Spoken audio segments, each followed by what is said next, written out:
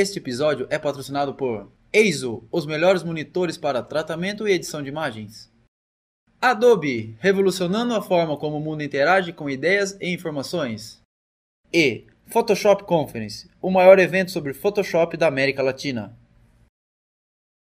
Fala galera, sejam bem-vindos ao terceiro episódio do Photopro TV, que abre o ano de 2010 desejando a todos um ano repleto de saúde, realizações e muito Photoshop. Meu nome é Alexandre Kise e neste podcast vou apresentar para vocês uma dica super especial sobre o novo mecanismo de 3D do Photoshop CS4. Esse mecanismo começa dentro do Photoshop CS3 e nessa última versão ele evolui bastante, sendo completamente reescrito pelo pessoal da engenharia. Mas antes eu quero agradecer a todos que participaram do concurso Photopro TV. Tivemos votos e respostas de todos os lugares do país, e ao ganhador, os meus parabéns. E hoje teremos mais uma pergunta. E esta é a sua chance de conhecer mais sobre o aplicativo e ainda faturar alguns prêmios. Fique ligado que mais à frente vou apresentar a nova pergunta e como você pode fazer para participar. E sem mais demora, hoje eu vou falar um pouco sobre o novo mecanismo de 3D do Photoshop, que abre portas e oportunidades interessantes para qualquer profissional.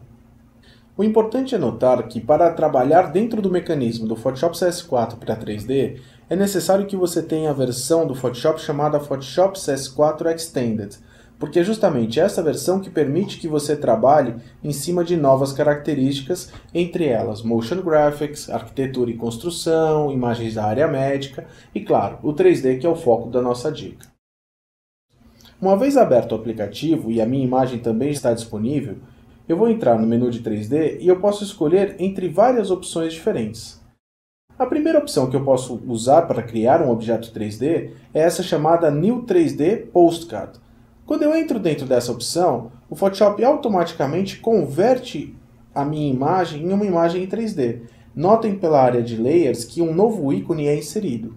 Uma vez que esse ícone é inserido, eu posso pegar a ferramenta de rotação de 3D e uma vez ela selecionada também, eu tenho na parte superior uma série de opções aonde eu posso controlar a rotação, posicionamento, ou seja, eu posso brincar bastante em cima da minha imagem.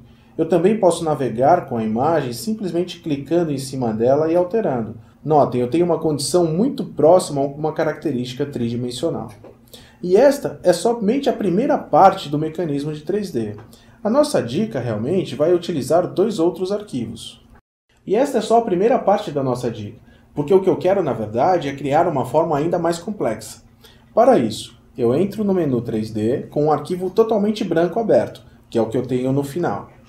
Dentro do 3D, eu vou escolher a opção New Shape from Layer, e dentro dessa opçãozinha ele tem um submenu, onde eu posso escolher entre um cone, um cubo, um cilindro, donuts, ou seja, eu tenho uma série de características diferentes nesse momento. Você pode escolher entre cada um desses gabaritos. Neste caso, eu vou trabalhar em cima de uma esfera. Então eu vou descer até encontrar a opção esfera. O Photoshop automaticamente coloca essa esfera disponível para mim aqui na tela. Uma vez que ela está aberta, eu posso controlar as características dessa esfera. Para isso, é importante que você, antes de começar o trabalho, troque o seu workspace para a opção chamada Advanced 3D.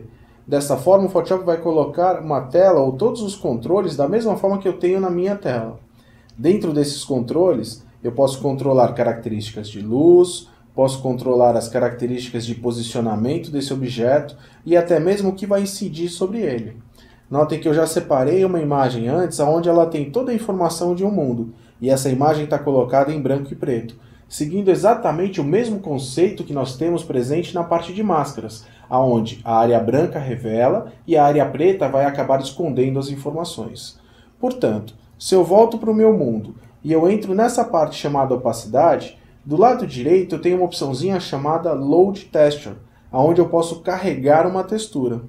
Essa textura, uma vez carregada dentro do aplicativo, e notem, eu escolhi exatamente aquela informação que eu apresentei para vocês anteriormente, ela automaticamente vai fazer o quê? Vai ser moldada como máscara dentro do meu arquivo. Dessa forma eu consigo fazer com que essa esfera vire um mundo. E eu tenho ainda a possibilidade de determinar se eu quero visualizar os dois lados ou não dessa área, simplesmente clicando nessa opção chamada Two-Sided. Quando eu clico nela e desligo, eu estou vendo só a face frontal do meu círculo. E essa face, pode ver, é muito simples e bastante interativa. Quando eu quero ver a face frontal e também a parte de trás, eu simplesmente clico no Two-Sided e coloco essa informação. Nós podemos ainda trocar a cor do nosso objeto. Para isso, eu vou entrar na opção Self Illumination, clico uma vez em cima dela, o Color Picker é aberto. Com ele aberto, você pode escolher a cor. Basta clicar em qualquer uma dessas referências e automaticamente o que a gente vê por trás é a imagem sendo alterada.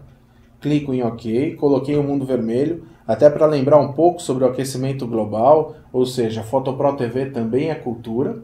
E uma vez que ele está aberto, eu quero colocar um pouco mais de efeitos. Entre eles, eu vou escolher a opçãozinha de Drop Shadow. Abro a caixa de Drop Shadow, ela é aberta dentro da minha tela, e eu vou começar a fazer a movimentação da sombra. E aqui vem uma segunda parte da dica. Eu posso colocar a distância, o spread, size, ou seja, eu posso controlar todas as propriedades dela. Agora, uma coisa que pouca gente sabe é que uma vez que você clica dentro da imagem e arrasta, você também está fazendo o posicionamento dessa sombra. Então não é necessário trabalhar somente com os comandos. Você também pode fazer o processo arrastando diretamente a sombra. Clico em OK e notem o seguinte: se eu pego ainda a ferramenta de 3D e começo a girar, em tempo real, eu tenho a informação da sombra sendo alterada e, por sua vez, a imagem sendo rotacionada. Isso mostra o quanto o Photoshop está integrado com esse novo mecanismo de 3D.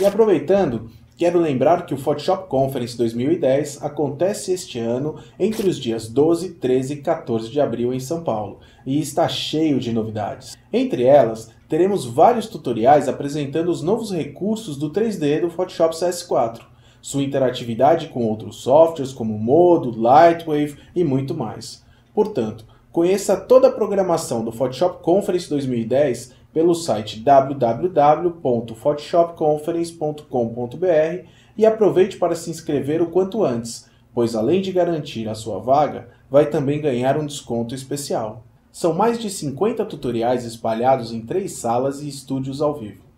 Você vai ver e aprender comigo e mais 20 profissionais no maior evento de Photoshop da América Latina. Comece a se programar desde já para três dias de muito Photoshop. Nesta segunda dica do Photopro TV, eu separei um conteúdo que vai trabalhar com Warp e elemento vetorial. Você pode até pensar que Warp e elemento vetorial não combinam, porque uma vez que você importa um vetor para dentro do Photoshop, o que, que acontece? Você pode aplicar o Scale, Transform, alguns tipos de distorção, mas não Warp diretamente. E é aí que você se engana. Se você usar uma pequena dica a mais, que é o que eu vou apresentar hoje, o Warp vai funcionar plenamente em qualquer vetor. O primeiro passo é estar com a imagem aberta dentro do Photoshop. Em seguida, pelo menu File, eu vou usar o comando Place para importar o elemento vetorial. Uma caixa de diálogo é aberta e nela você pode escolher o arquivo. Neste caso, estou usando um arquivo do Photopro.